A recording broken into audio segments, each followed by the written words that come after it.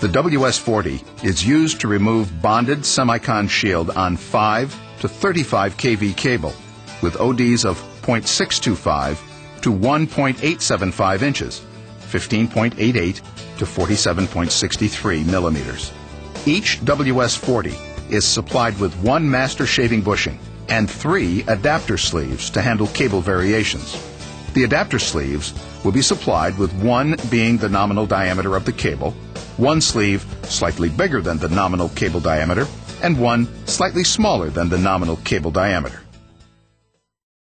Select the adapter sleeve having the nearest diameter of the semicon that is to be stripped. The selected sleeve should fit snugly over the cable but does not bind. Mount the selected sleeve onto the master shaving bushing. Place the bushing over the end of the cable so that the shaving blade can be adjusted to the correct depth. Lubricate the semicon surface with silicone lubricant to minimize friction between the adapter sleeve and semicon material. Place the bushing assembly into the WS-40. Once the correct blade depth has been set, slide the WS-40 onto the cable until the end of the cable is up against the shaving blade. Squeeze the trigger of the drill and apply slight forward pressure to the tool to begin the stripping operation. Continue the forward pressure until the desired strip-off length is reached.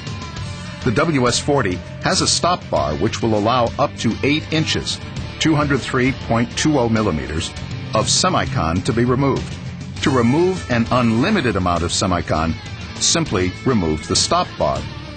To complete the operation, let the machine rotate 2 to 3 revolutions against a QC1 quick clamp or a TC1 transmission cable clamp. The WS-40 must stop completely before attempting to remove it from the cable. Remove the WS-40 and the master shaving bushing from the cable.